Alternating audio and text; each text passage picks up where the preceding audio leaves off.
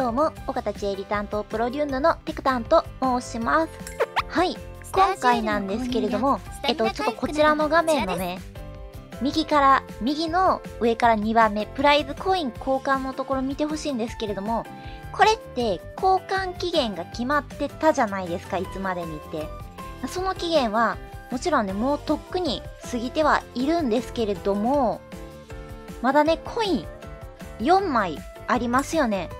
こんな感じで交換できるアイテムがないにもかかわらず、メダルコインだけね、あるんですよ。これ、私全然気づかんかったんやけど、これって持ち越しができるってことで合ってますかね？やとしたら、毎回納税だけはとりあえずちょくちょく引いてるから、まあ、少しずつ貯めることができるわけじゃないですか。なので、かなりね、天井また近づくんじゃないかなってちょっと思いまして。例えばなんか30ぐらい貯まるんですよ、プライズコインが。1回のね、復刻で。で、ま、期限ギリギリで無理やりね、まあこのアイテムにしようかなって感じで無理やり交換してるんですけれども、それやめたら、ね、コインどんどん貯まるんじゃないかなって思って、これ消滅しないのかどうかっていうのを、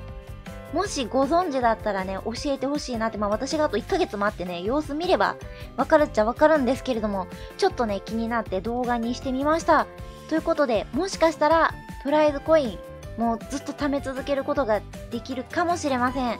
これはね、かなり嬉しいですよね。ということで、動画にしてみました。